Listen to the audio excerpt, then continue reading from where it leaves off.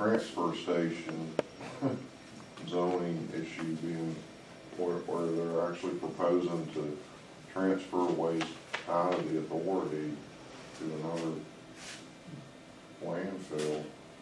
And apparently it's gotten through the, the, um, appeals board and it's gonna be in front of the city It'll be council, Commissioners. yeah, tomorrow. council, I'm sorry, council tomorrow. and Just not, not sure everybody understands the implications of that.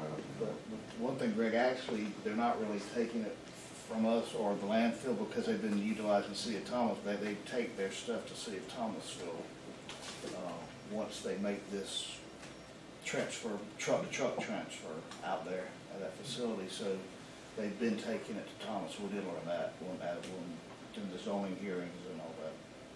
Right, but they Well, that didn't, makes they didn't even have the zoning to do that, and, um, yet, and they're still, um. Well, they did, they did, they just, they, they, they just wanted some variance to it because of the type of business it was. They, they were, they were zoned, and the, and the, when it all fell out, they were zoned appropriately, uh, for that.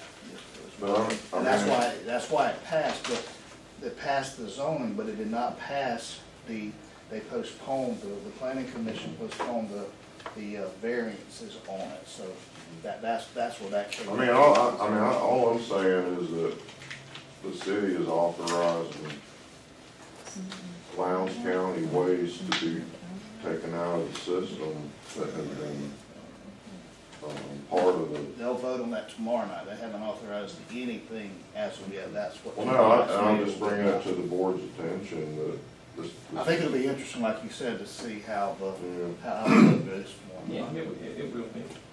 Is there, uh, anything else?